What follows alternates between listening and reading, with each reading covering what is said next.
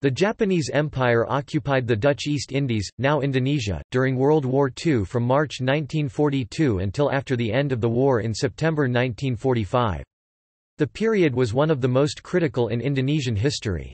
The Dutch East Indies had been a colony of the Netherlands the Dutch since 1819. However, the Netherlands itself had been occupied by Germany, and thus had little ability to defend its colony against the Japanese army, and less than three months after the first attacks on Borneo, the Japanese navy and army overran Dutch and Allied forces. Initially, most Indonesians joyfully welcomed the Japanese as liberators from their Dutch colonial masters. The sentiment changed, however, as Indonesians realized that they were expected to endure more hardship for the Japanese war effort. In 1944–1945, Allied troops largely bypassed Indonesia and did not fight their way into the most populous parts such as Java and Sumatra. As such, most of Indonesia was still under Japanese occupation at the time of its surrender in August 1945. The occupation was the first serious challenge to the Dutch in Indonesia and ended the Dutch colonial rule, and, by its end, changes were so numerous and extraordinary that the subsequent watershed, the Indonesian National Revolution, was possible in a manner unfeasible just three years earlier.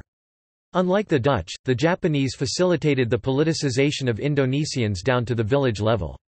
Particularly in Java and, to a lesser extent, Sumatra, the Japanese educated, trained and armed many young Indonesians and gave their nationalist leaders a political voice. Thus, through both the destruction of the Dutch colonial regime and the facilitation of Indonesian nationalism, the Japanese occupation created the conditions for the proclamation of Indonesian independence within days of the Japanese surrender in the Pacific. However, the Netherlands sought to reclaim the Indies, and a bitter five-year diplomatic, military and social struggle ensued, resulting in the Netherlands recognizing Indonesian sovereignty in December 1949. Background Until 1942, Indonesia was colonized by the Netherlands and was known as the Dutch East Indies. In 1929, during the Indonesian National Awakening, Indonesian nationalist leaders Sukarno and Muhammad Hatta later founding president and vice president, foresaw a Pacific War and that a Japanese advance on Indonesia might be advantageous for the independence cause. The Japanese spread the word that they were the light of Asia. Japan was the only Asian nation that had successfully transformed itself into a modern technological society at the end of the 19th century and it remained independent when most Asian countries had been under European or American power, and had beaten a European power, Russia, in war. Following its military campaign in China Japan turned its attention to Southeast Asia, advocating to other Asians a Greater East Asian Co-Prosperity Sphere, which they described as a type of trade zone under Japanese leadership. The Japanese had gradually spread their influence through Asia in the first half of the 20th century and during the 1920s and 1930s had established business links in the Indies. These ranged from small-town barbers, photographic studios and salesmen, to large department stores and firms such as Suzuki and Mitsubishi becoming involved in the sugar trade. The Japanese population peaked in 1931 with 6,949 residents before starting a gradual decrease, largely due to economic tensions between Japan and the Netherlands Indies government. A number of Japanese had been sent by their government to establish links with Indonesian nationalists, particularly with Muslim parties, while Indonesian nationalists were sponsored to visit Japan. Such encouragement of Indonesian nationalism was part of a broader Japanese plan for an Asia for the Asians. While most Indonesians were hopeful for the Japanese promise of an end to the Dutch racially based system, Chinese Indonesians, who enjoyed a privileged position under Dutch rule, were less optimistic. Also concerned were members of the Indonesian communist underground who followed the Soviet Union's Popular United Front against fascism. Japanese aggression in Manchuria and China in the late 1930s caused anxiety amongst the Chinese in Indonesia who set up funds to support the anti-Japanese effort. Dutch intelligence services also monitored Japanese living in Indonesia. In November 1941, Majlis Rakyat Indonesia, an Indonesian organization of religious, political, and trade union groups, submitted a memorandum to the Dutch East Indies government requesting the mobilization of the Indonesian people in the face of the war threat. The memorandum was refused because the government did not consider the Majlis Rakyat Indonesia to be representative of the people. Within only four months, the Japanese had occupied the archipelago. The invasion On 8 December 1941, the Netherlands declared war on Japan. In January the American British Dutch Australian Command was formed to coordinate Allied forces in Southeast Asia, under the command of General Archibald Wavell. In the weeks leading up to the invasion, senior Dutch government officials went into exile, taking political prisoners, family, and personal staff to Australia. Before the arrival of Japanese troops, there were conflicts between rival Indonesian groups where people were killed, vanished or went into hiding. Chinese and Dutch-owned properties were ransacked and destroyed. The invasion in early 1942 was swift and complete. By January 1942, parts of Sulawesi and Kalimantan were under Japanese control. By February, the Japanese had landed on Sumatra where they had encouraged the Acehnese to rebel against the Dutch. On 19 February, having already taken Ambon, the Japanese Eastern Task Force landed in Timor, dropping a special parachute unit into West Timor near Kupang, and landing in the Dili area of Portuguese Timor to drive out the Allied forces which had invaded in December. On 27 February, the Allied Navy's last effort to contain Japan was swept aside by their defeat in the Battle of the Java Sea. From 28 February to 1 March 1942, Japanese troops landed on four places along the northern coast of Java almost undisturbed. The fiercest fighting had been in invasion points in Ambon, Timor, Kalimantan, and on the Java Sea. In places where there were no Dutch troops, such as Bali, there was no fighting. On 9 March, the Dutch commander surrendered along with Governor-General Jonkheer Awl Jarda van Starkenborgh Stachouwer. The Japanese occupation was initially greeted with optimistic enthusiasm by Indonesians who came to meet the Japanese army waving flags and shouting support such as, "'Japan is our older brother' and "'Banzai Dai Nippon' As the Japanese advanced, rebellious Indonesians in virtually every part of the archipelago killed groups of Europeans particularly the Dutch and informed the Japanese reliably on the whereabouts of larger groups. As famed Indonesian writer Pramoedya Ananta Toer noted, with the arrival of the Japanese just about everyone was full of hope, except for those who had worked in the service of the Dutch. The occupation The colonial army was consigned to detention camps and Indonesian soldiers were released. Expecting that Dutch administrators would be kept by the Japanese to run the colony, most Dutch had refused to leave. Instead, they were sent to concentration camps and Japanese or Indonesian replacements were installed in senior and technical positions. Japanese troops took control of government infrastructure and services such as ports and postal services. In addition to the 100,000 European and some Chinese civilians interned, 80,000 Dutch, British, Australia, and U.S. Allied troops went to prisoner of war camps where the death rates were between 13 and 30 percent. The Indonesian ruling class, composed of local officials and politicians who had formerly worked for the Dutch colonial government, cooperated with the Japanese military authorities, who in turn helped to keep the local political elites in power and employ them to supply newly arrived Japanese industrial concerns and businesses and the armed forces chiefly auxiliary military and police units run by the Japanese military in the Dutch East Indies. Indonesian cooperation allowed the Japanese military government to focus on securing the large archipelago's waterways and skies and using its islands as defense posts against any Allied attacks which were assumed to most likely come from Australia. The Japanese colonial rulers divided Indonesia into three separate regions. Sumatra was placed under the 25th Army, Java and Madura were under the 16th Army, while Borneo and eastern Indonesia were controlled by the 2nd South Fleet of the Imperial Japanese Navy, the IJN. The 16th Army and the 25th Army were headquartered in Singapore and also controlled Malaya until April 1943, when its command was narrowed to just Sumatra and the headquarters moved to Bukittinggi. The 16th Army was headquartered in Jakarta, while the IJN's 2nd South Fleet was headquartered in Makassar. Experience of the occupation varied considerably, depending upon where one lived and one's social position. Many who lived in areas considered important to the war effort experienced torture, sex slavery, arbitrary arrest and execution, and other war crimes.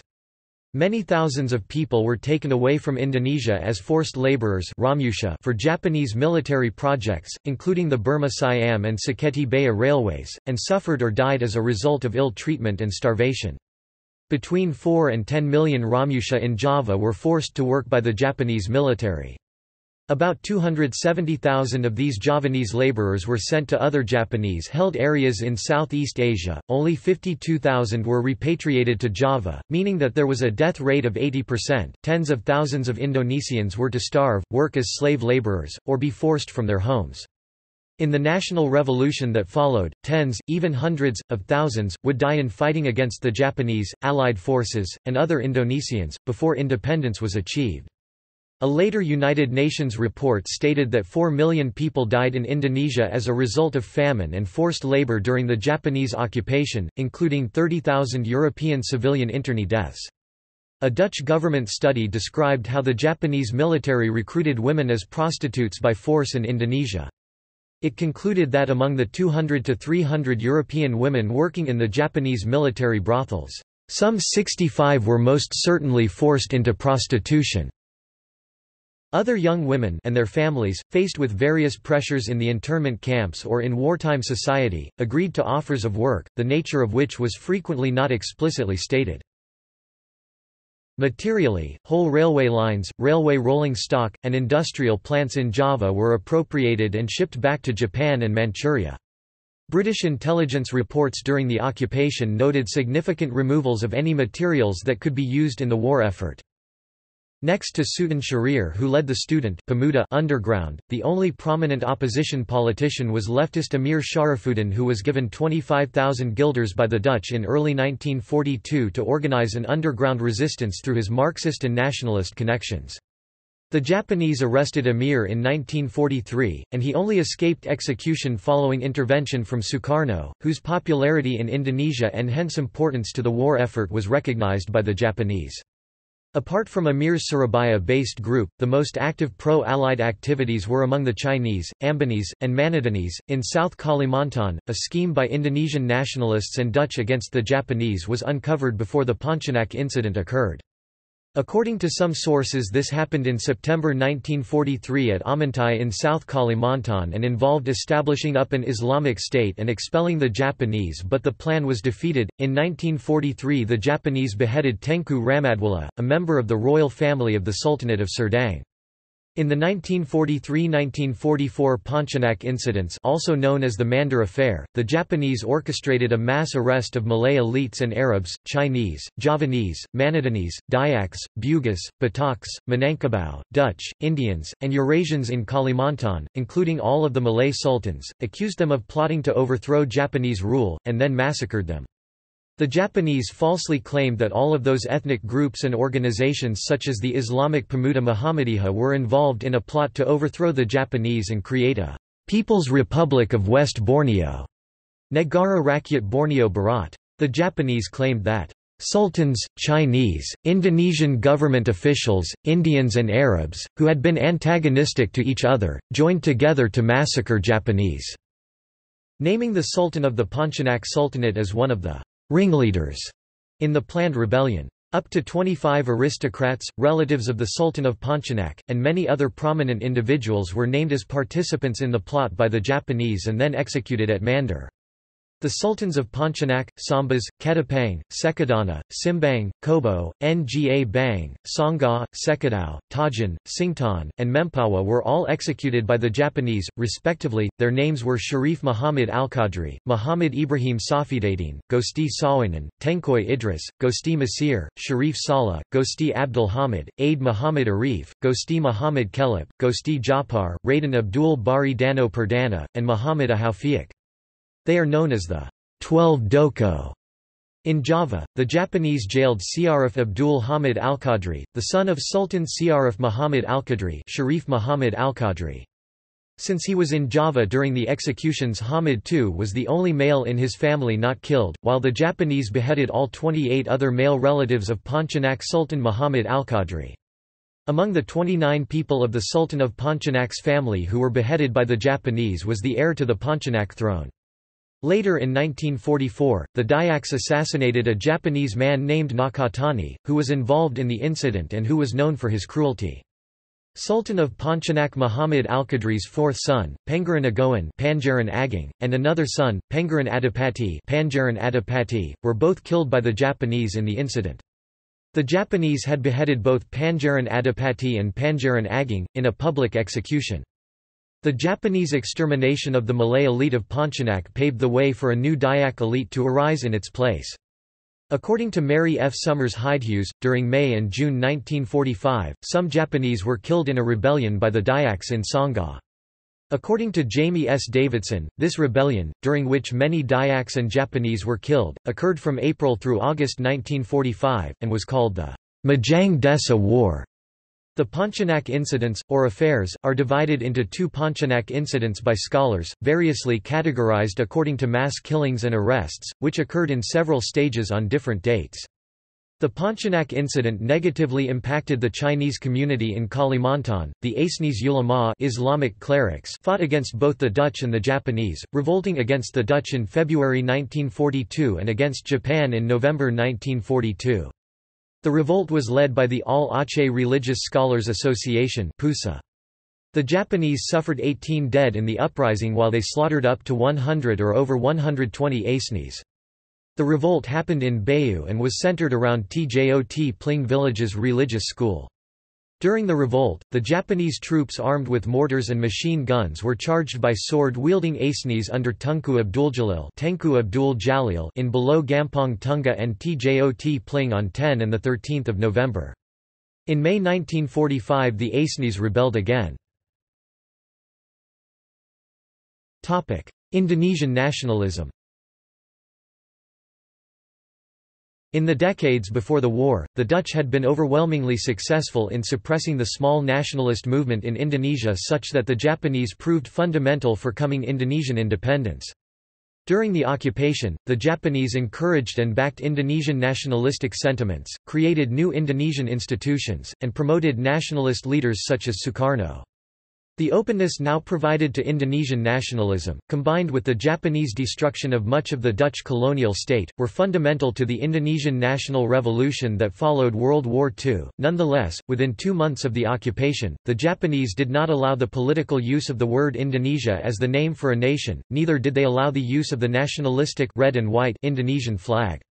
In fact, any discussion, organization, speculation or propaganda concerning the political organization or government of the country." Also in the media was strictly forbidden. They split up the Dutch East Indies into three separate regions and referred to it as the Southern Territories. While Tokyo prepared the Philippines for independence in 1943, they simultaneously decided to annex the Indonesian islands into the Greater Japanese Empire. Until late 1944 when the Pacific War was at a turning point the Japanese never seriously supported Indonesian independence. The Japanese regime perceived Java as the most politically sophisticated but economically the least important area, its people were Japan's main resource. As such, and in contrast to Dutch suppression, the Japanese encouraged Indonesian nationalism in Java and thus increased its political sophistication similar encouragement of nationalism in strategic resource-rich Sumatra came later, but only after it was clear the Japanese would lose the war. The outer islands under naval control, however, were regarded as politically backward but economically vital for the Japanese war effort, and these regions were governed the most oppressively of all. These experiences and subsequent differences in nationalistic politicization would have profound impacts on the course of the Indonesian Revolution in the years immediately following independence 1945 -1950. To gain support and mobilize Indonesian people in their war effort against the Western Allied force, Japanese occupation forces encouraged Indonesian nationalistic movements and recruited Indonesian nationalist leaders, Sukarno, Hatta, Ki Hajar Dewantara and Kyai Haji Mas Mansir to rally the people's support for Mobilization Center Putera Indonesian, Pusat Tenaga Rakyat on 16 April 1943, replaced with Jawa Hokokai on 1 March 1944. Some of these mobilized populations were sent to forced labor as Romusha. Japanese military also provided Indonesian youth with military training and weapons, including the formation of a volunteer army called PETA Pembela Tanah Air, Defenders of the Homeland. The Japanese military training for Indonesian youth originally was meant to rally local support for the collapsing power of the Japanese Empire, but later became the significant resource for the Republic of Indonesia during the Indonesian National Revolution, and also led to the formation of Indonesian National Armed Forces in 1945. On 29 April 1945, Lieutenant Gen.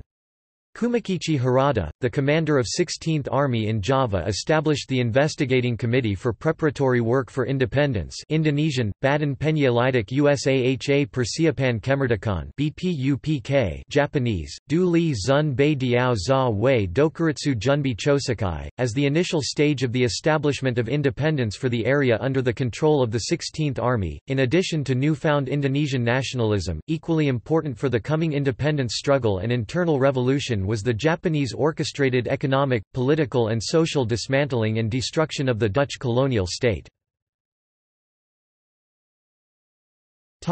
End of the occupation General MacArthur wanted to fight his way with Allied troops to liberate Java in 1944–45 but was ordered not to by the Joint Chiefs and President Roosevelt. The Japanese occupation thus officially ended with Japanese surrender in the Pacific and two days later Sukarno declared Indonesian independence. However Indonesian forces would spend the next four years fighting the Dutch for independence.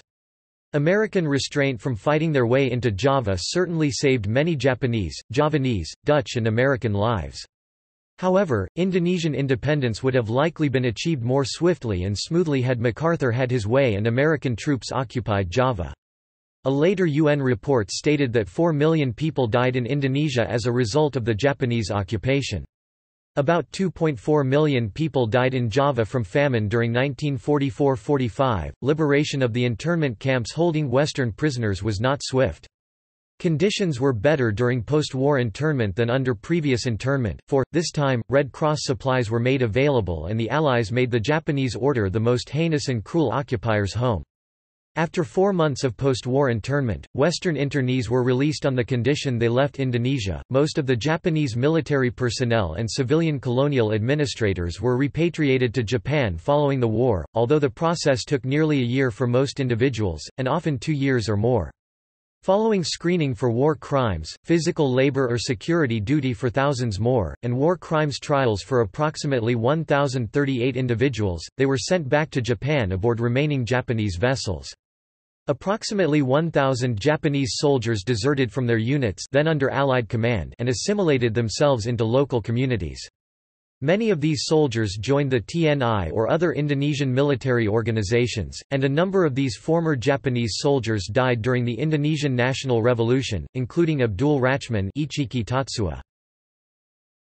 The final stages of warfare were initiated in October 1945 when, in accordance with the terms of their surrender, the Japanese tried to re-establish the authority they relinquished to Indonesians in the towns and cities.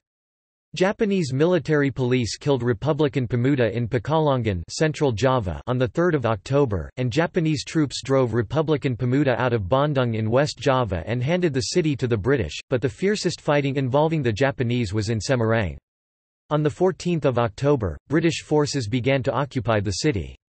Retreating Republican forces retaliated by killing between 130 and 300 Japanese prisoners they were holding. 500 Japanese and 2,000 Indonesians had been killed and the Japanese had almost captured the city six days later when British forces arrived.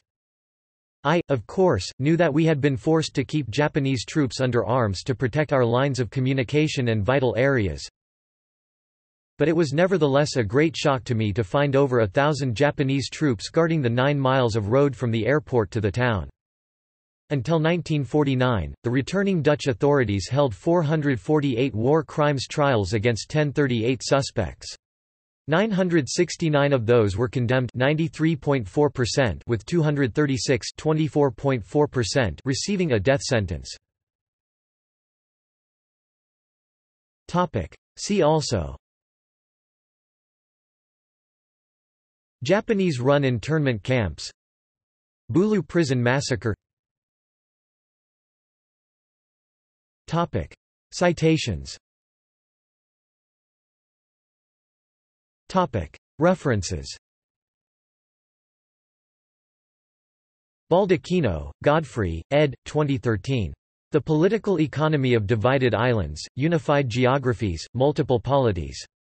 Palgrave Macmillan. ISBN 1-137-02313-9.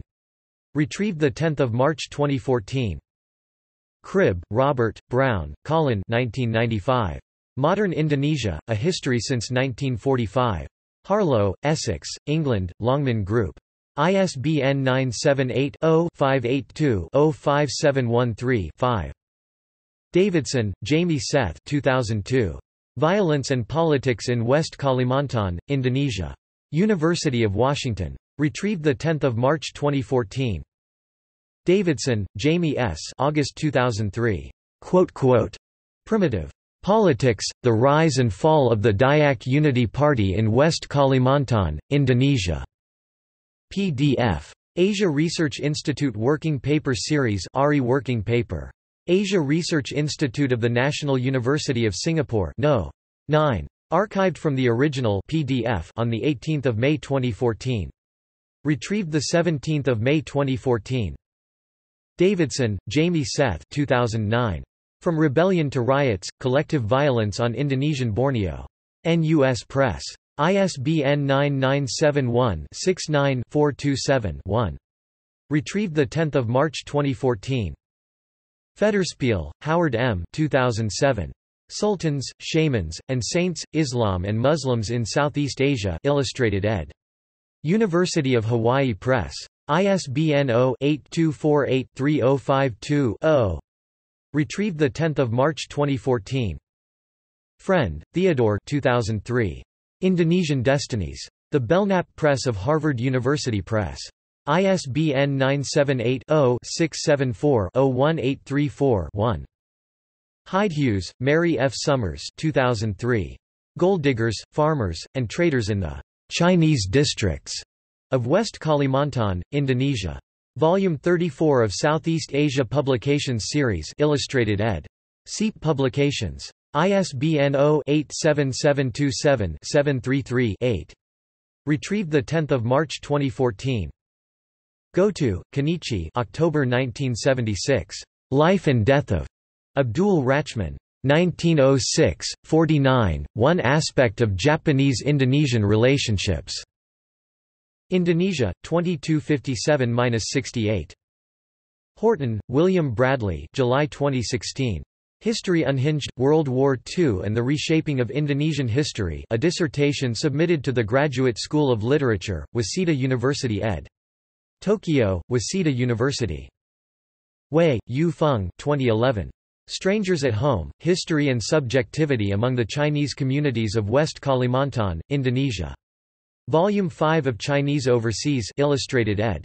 Brill. ISBN 90-04-17340-4. Retrieved 10 March 2014. Indonesia. Angkatan Darat. Pusat Sejarah Militer 1965. Sejarah TNI Angkatan Darat, 1945–1965, TJET, 1. PUSSEMAD. Retrieved 10 March 2014. Indonesia. Panitia Penjusun Naskah Buku. 20 Tahun Indonesia Merdeka. Indonesia. 20 I. E. Dua Puluh Tahun Indonesia Merdeka, Volume 7. Departemen Penerangan. Retrieved 10 March 2014. Indonesia. Departemen Penerangan. 20 Tahun Indonesia Merdeka, Volume 7. Departemen Penerangan R.I. Retrieved 10 March 2014. Jong, Louis 2002. The Collapse of a Colonial Society, The Dutch in Indonesia During the Second World War. Volume 206 of Verhandelingen van het Koninklijk Nederlands Geologisch Mijnbouwkundig Genootschap, Volume 206 of Verhandelingen van het Koninklijk Instituut voor Land and Volkenkunde Illustrated ed. KITLV Press. ISBN 90-6718-203-6. Retrieved 10 March 2014. Excerpta Indonesiaca, Volumes 64–66. Contributor Koninklijk Instituut voor Taal, Land en Volkenkunde Netherlands. Afdeling Documentatie Modern Indonesië. Center for Documentation on Modern Indonesia of the Royal Institute of Linguistics and Anthropology, 2001. Retrieved 10 March 2014. Kratoska, Paul H., ed. 2002. Southeast Asian Minorities in the Wartime Japanese Empire. Psychology Press. ISBN 0-7007-1488-X. Retrieved 10 March 2014. Kratoska, Paul H., ed. 2013. Southeast Asian Minorities in the Wartime Japanese Empire. Routledge. ISBN 1-136-12506-X. Retrieved 10 March 2014.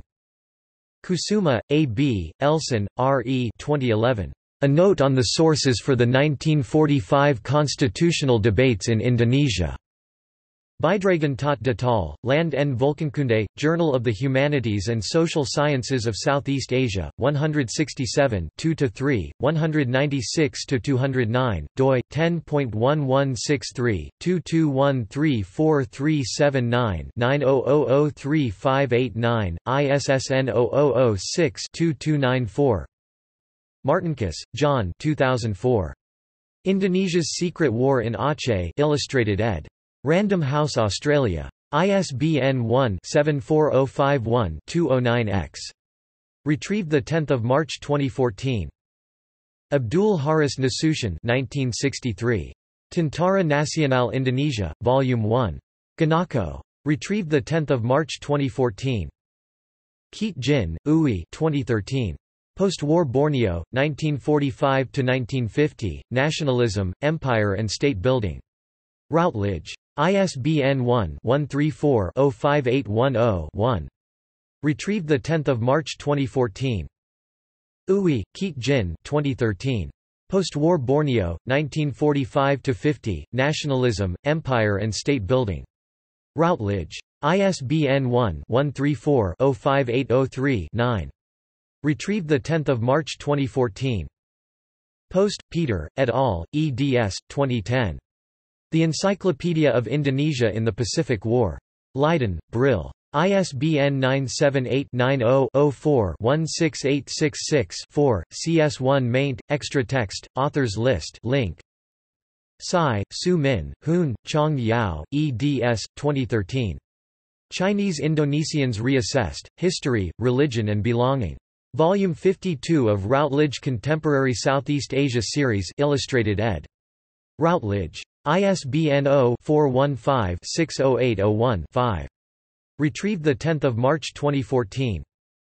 Ricklefs, Merle Calvin 2001. A History of Modern Indonesia since c. 1200 Illustrated ed. Stanford University Press. ISBN 0-8047-4480-7. Retrieved 10 March 2014. Ricklefs, Merle Calvin 1991. A History of Modern Indonesia since c. 1300 2nd ed. Macmillan. Ricklefs, Merle Calvin 1993. A History of Modern Indonesia since c. 1300 2nd ed. Stanford, California, Stanford University Press. p. 207. ISBN 978-0-8047-2194-3. Retrieved 19 April 2011.